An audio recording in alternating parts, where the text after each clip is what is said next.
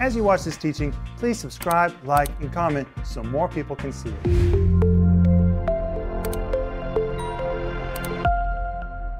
Welcome to today's program. My name is Rick Renner, and today I'm going to keep talking to you about the different kinds of prayer that God has made available to you and to me and to the church.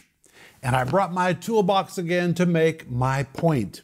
In every toolbox, there are multiple kinds of tools, and none of them are the same. They all serve a different purpose. Here is a hammer.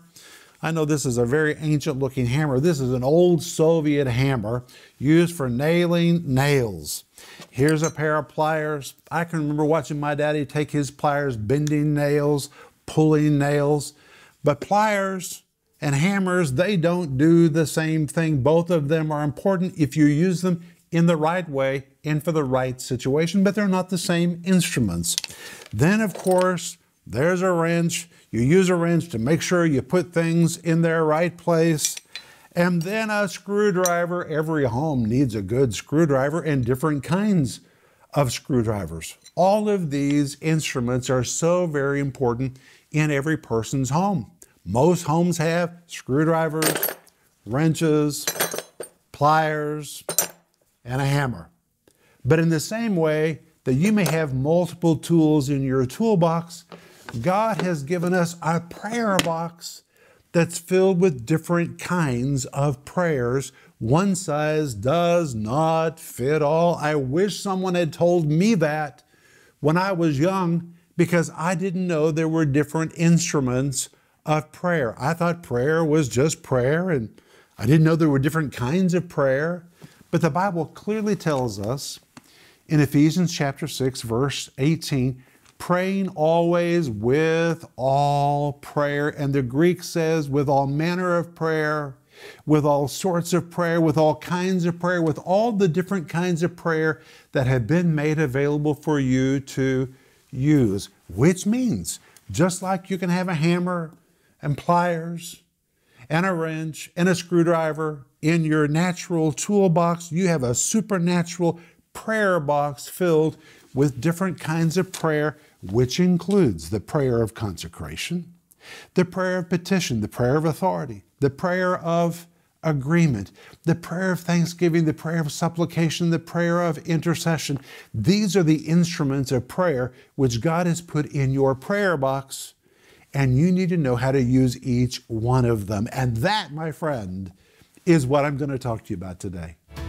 Stay tuned for a teaching you can trust, a message that will inspire, strengthen, and equip you with vital insights and understanding from the Word of God.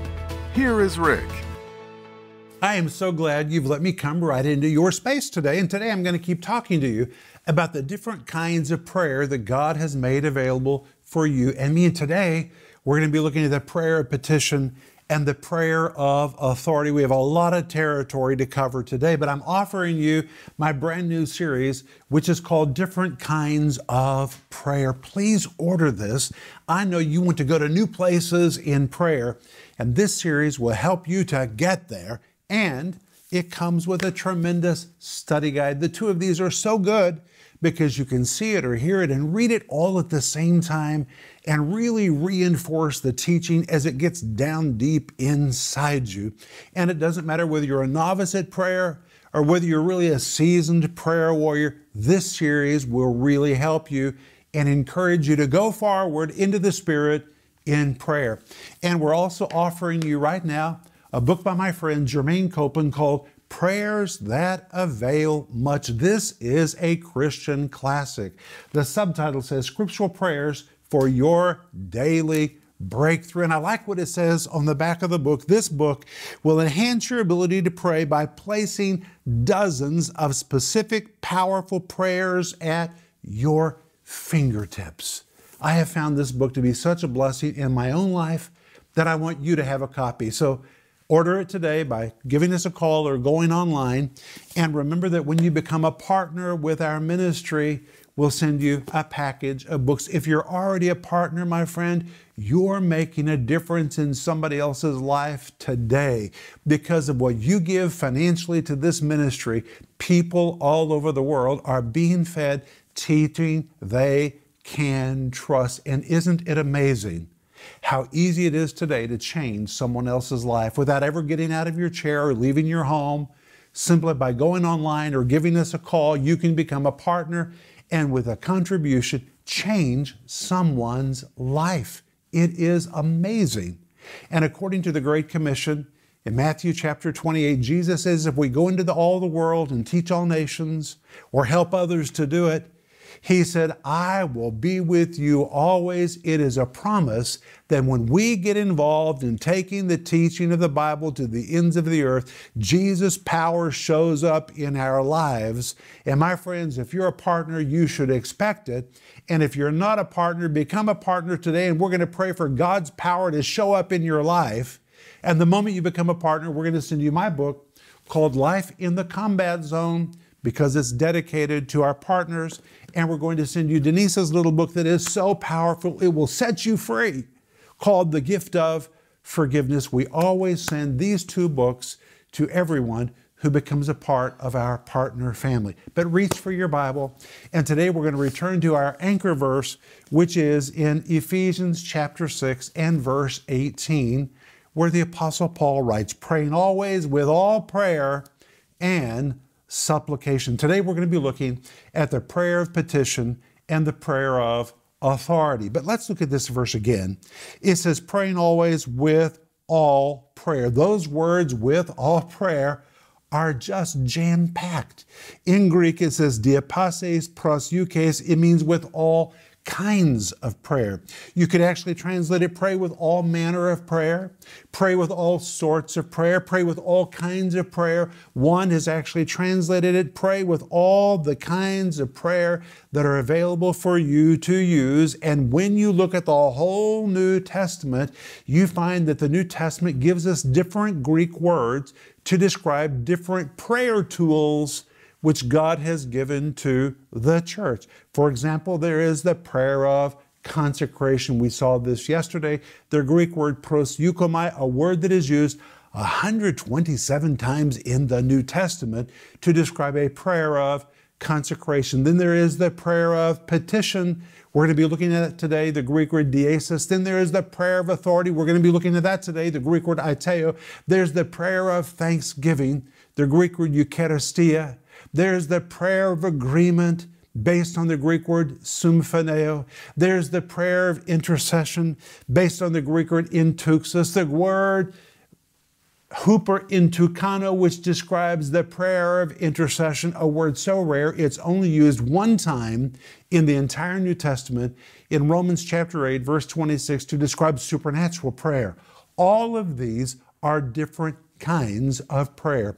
And just like you have different instruments in your toolbox, God has put different kinds of prayer in our spiritual prayer box for us to use at different moments and in different situations. But today, we're going to look at the prayer of petition. And the prayer of petition can be found in Ephesians 6, verse 18, where Paul says, praying always with all prayer and, are you ready? Supplication. Let's look at that word supplication. In Greek, it is the word deesis. I call this the prayer of petition, and you'll understand better in just a moment. This word in its various forms are translated prayer and petition, petition, and it's used more than 40 times in the New Testament. Now, if I said something to you 40 times, I think you'd understand. I wanted you to understand it. God gives us this word 40 times in the New Testament. And in Ephesians 6, verse 18, it's translated as the word supplication, the Greek word deesis, which really is the idea of a petition. A petition. It is from the Greek word deomai. Now listen carefully. The word deomai, in its most basic form, describes a need or a want and something that is very urgent. This is something that is urgently felt in one's personal life. It could describe an urgent need for power, an urgent need for money, an urgent need for provision, an urgent need for peace, an urgent need for some kind of divine provision or intervention, something that you feel very, very urgently. This is a person who's saying, God, I have to have you to move in my life. I need you to move and meet my need, and I need you to do it urgently right now. And the only reason that a person would pray this kind of prayer is because they feel some kind of insufficiency in themselves. They realize, God, I'm not able to do this by myself. I cannot meet my own need. So they move into this mode of prayer where they urgently ask God to move. They offer Him a petition based on the Greek word deesis. And we see an example of this in Hebrews chapter 7, verse 7, to describe the prayer life of Jesus himself. Listen to what the Bible says. Who in the days of his flesh, when he had offered up prayers, that word prayers is this Greek word deesis, the word for a petition, to cry out for God to urgently move to meet a need in your life. The verse says, Who in the days of his flesh, when he had offered up deesis, urgent prayers, and urgent petition, and supplications with strong crying and tears unto him that was able to save him from death, and was heard in that he feared. That word prayers in this verse is based on the Greek word deesis, which means Jesus was so aware of his humanity at that moment and his need for God to move that he offered up an urgent demand, an urgent need. It was a petition. He prayed for the Father to give him strength and power at a moment when he needed strength and when he really needed prayer. This word, deesis, describes a faith filled cry for God to help, for God to urgently move in your life. A person praying this kind of prayer makes an appeal from a position of humility, asking God to grant some kind of special petition. Like a request, for spiritual power to minister to someone else. You're urgently asking God, give me the power I need to minister, or strength to resist some kind of temptation. That's urgent that would be a petition. Or strength to be sustained in the midst of a crisis, or power to overcome temptation, money to pay a bill, intervention in the life of a spouse or a loved one. This is a deesis. God, I need you to do this. I need you to do it now. It is a very high level of prayer where you're asking God to urgently move and to move right now. This is a petition, which is defined by the Greek word deesis. It pictures a believer who recognizes his inability to meet his own need and his utter dependence upon God to move in his life, and he's beseeching God to move on his behalf. And that is the very word we see in Ephesians 6, verse 18, when Paul says, praying always with all prayer and supplication. That word supplication is this Greek word deesis. It carries this idea praying always with all prayer and with an earnest, sincere, and heartfelt, urgent petition. The prayer of petition, and there is a time and there is a place for this. But then there is also the prayer of authority. You say, well, what is the prayer of authority? Well, let's look at a word that Jesus uses in John chapter 15, verse 7. And in John 15, verse 7, Jesus said, If you abide in me and my words abide in you, you will ask what you will, and it shall be done unto you. If you have your Bible open, circle that word ask and take a note. In Greek, it is the word aiteo. I call this the prayer of authority. You'll understand why in just a moment. The word ask in Greek is the word aiteo, and guess what? This word is so strong. It means to ask, to demand, or even to command. It's a very powerful word, and it's used 80 times in the New Testament. It is used so many times in the New Testament, it's hard to misunderstand this word. It means to ask, to demand, or even to command. So when Jesus says, You will ask what you will, it could literally be translated, You shall demand what you will, and it shall be done unto you. And that's why I call this the prayer of authority. It means to demand, to command something, to require something to be done. It is a prayer prayed with great boldness and with great authority. I remember the first time I ever heard anyone pray like this, and it just disarmed me and shocked me. And to be honest, it offended me because I had never heard anybody pray so boldly and authoritatively. I thought, who in the world do you think you are to talk to God like that? He was commanding and demanding what should be done in the name of Jesus, and it kind of put me off. But when you understand the whole context of John chapter 5, verse 7, there's nothing offensive about this at all.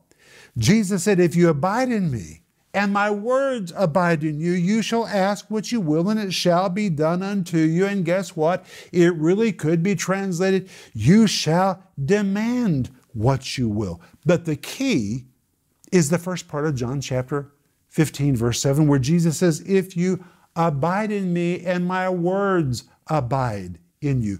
That word abide, used both times, is the Greek word meno, which means to stay, to dwell, to lodge, remain, or continue, which means the verse carries this idea. If you permanently and habitually lodge, abide, and remain continually in me, and my words permanently and habitually lodge, abide, and remain continually in you, you will be able to demand whatever you wish, and it will be done unto you. And my friends, listen careful. Jesus knew that if His Word took a permanent residency in our hearts and in our minds, we would not ask for something that was out of line. He knew that. And when we allow God's word to lodge in our hearts and to lodge in our minds, that word so transforms us that when we pray, we pray in accordance with the word of God, which is lodged inside us. We don't pray out of alignment.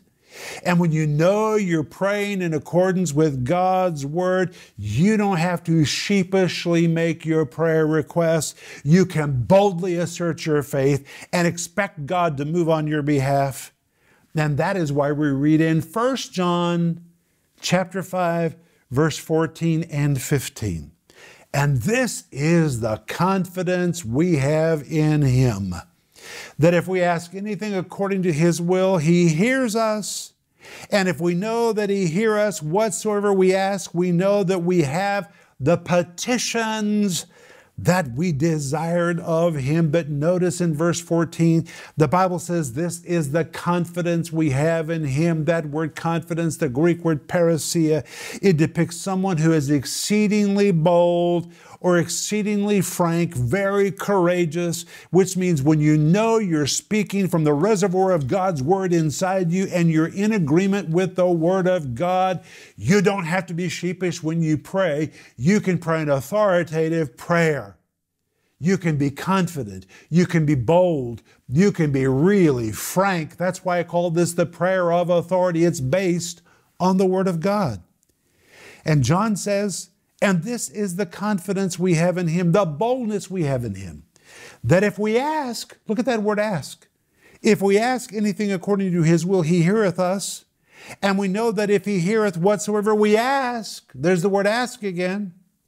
We know that we have the petitions. Oh, look at this word petitions that we desired of Him. Look at the word desired. Listen, friend, the word ask, the word petitioned, and the word desire in this verse are all from the same Greek word, the Greek word aiteo, which means to ask or to demand, the very word used 80 times in the New Testament, meaning to ask, to demand, to command. And it tells us again that if God's word dwells in us, we can pray in accordance with that word and we do not need to be sheepish when we pray. For example, if somebody is sick, you don't need to sheepishly ask God to heal. You know it's the will of God to heal, and therefore you can demand, you can command, you can expect, you can pray with confidence for God to move because you know what the Bible says. You can pray a prayer of authority. Wow. And God is not offended When we pray that kind of outspoken prayer, God moves. When God's word is stored in your heart, and you have an accurate knowledge based on God's word, you can be bold and you can be courageous when you pray, and that is exactly what God wants you to do. And with this kind of prayer at your disposal, when suddenly you're confronted with a need, you can be bold, you can be courageous, you can be authoritative because you know what the Bible says and you know what God wants to do and so you don't need to be sheepish when you pray. You can boldly assert yourself in faith and expect God to move. So today, we've seen two kinds of prayer. Number one, the prayer of petition based on the Greek word deesis. When you feel an urgent need in your life and you move into a mode of prayer where you call out to God in faith and urgently ask Him, God, please move in my life. God, I need you to intervene in my family, in my finances, in my health, in my situation. I need you to intervene and give me what I need. That is a prayer of petition. Or number two, the prayer of authority based on the Greek word aiteo, which means to command, to demand, to really expect God to move. It is a prayer prayed with confidence. And by the way, if you need somebody to agree with you in prayer right now for anything you're facing in life, our team knows how to make a petition we know how to ask God to urgently move in your life. And we know how to pray a prayer of authority based on the Word of God, asking God to do explicit things in your life with boldness and confidence and expectation. If you need somebody to pray with you, give us a call or send us an email, and we will put our prayer to work with you for God to move in your life. You can do it by yourself, but it always helps when somebody is praying with you, and we're here for you. So give us a call or send us your email right now. But I'll be back in just a moment, and I want to pray for you. When you work around your house, it's important for you to know which tools to use to get a job done. Using the wrong tools will guarantee frustration and failure every time. In the same way, there are many different tools of prayer for you to use to get results when you pray.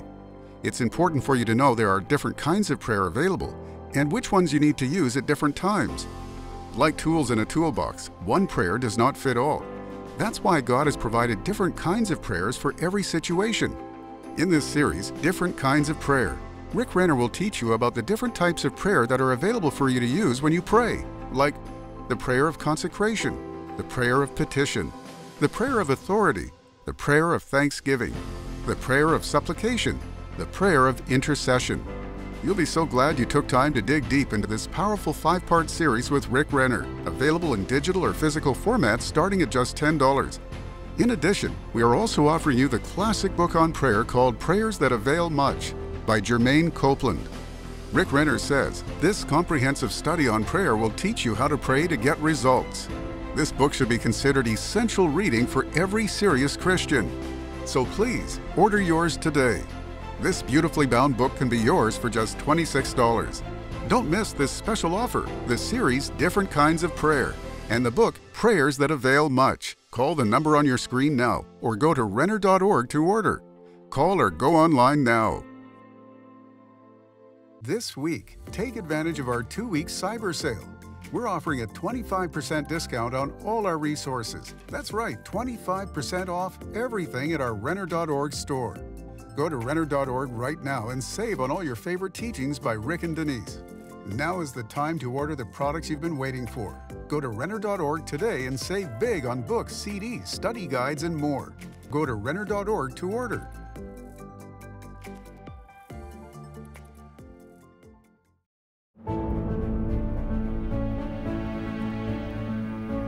Hey, friends, this is Rick Renner and Joel Renner. It is so good to be with you, Dad. Joel, I always like to be with you. You know what I'm excited about? What? This project we're working on. And what is this project? This is our new Moscow TV studio. This is the slab, and they poured the concrete yesterday. I was amazed. They poured from morning to the end of the evening because the slab is so enormous. And on this slab, they're about to put up the walls in two weeks.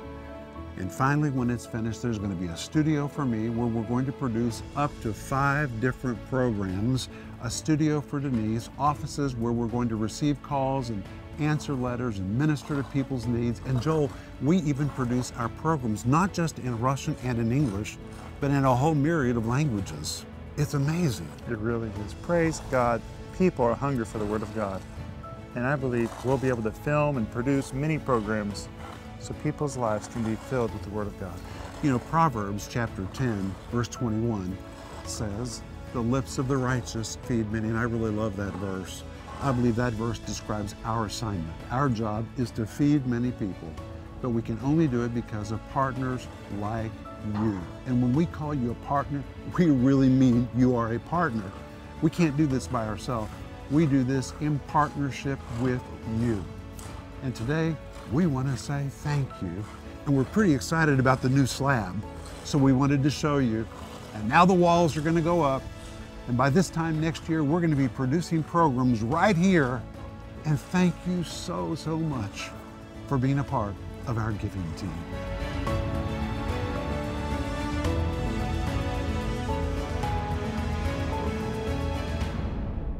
We have seen that God has given us the prayer of consecration based on the Greek word proseuchomai. God has given us the prayer of petition based on the Greek word deesis. God has given us the prayer of authority based on the Greek word aiteo. But wait, wait, wait, there's still the prayer of thanksgiving, the prayer of agreement, the prayer of supplication, the prayer of intercession. These are all tools which God has put in our spiritual toolbox. There are different kinds of prayer for us to use. And that's why I want you to get my brand new series called Different Kinds of Prayer. My friends, order it today. It comes in multiple formats and it comes with a marvelous study guide. And I want you to order Germaine Copeland's book, which we're making available to you right now, called Prayers That Avail Much. You need this book. This book will help you. It says scriptural prayers for our daily breakthrough. God wants you to have a breakthrough. And maybe you don't know the words to say when you pray. This book will put the words in your mouth. It is filled with anointed prayers. It puts all of these prayers right at your fingertips. I use this book in my own life, and I know it will be a blessing to you as well. So order yours today by going online or give us a call. And remember that when you become a partner with our ministry, a partner helps us take this teaching to people all over the world by giving financially into our ministry. We'll send you my book called Life in the Combat Zone and Denise's book called The Gift of Forgiveness as our way of saying, Welcome to our partner family. Then I want to pray for you. Father, I thank you in the name of Jesus that we can pray a prayer of consecration and recommit ourselves. I thank you in moments when we feel an urgent need, we can offer a prayer of petition in faith and you will move on our behalf. I think that when we know the Word of God, we can pray a prayer of authority based on the Word of God and confidently believe you to move and to answer us. Thank you, thank you, thank you for these different tools you've given to us. In Jesus' name, amen. Well, I'll be back tomorrow. But remember Ecclesiastes 8 4, where the word of a king is, there is power. Thank you for watching this broadcast. For more information on product resources or to learn how you can partner with this ministry, please connect with us at Renner.org. Also, please be sure to visit us on Facebook, Twitter, and Instagram.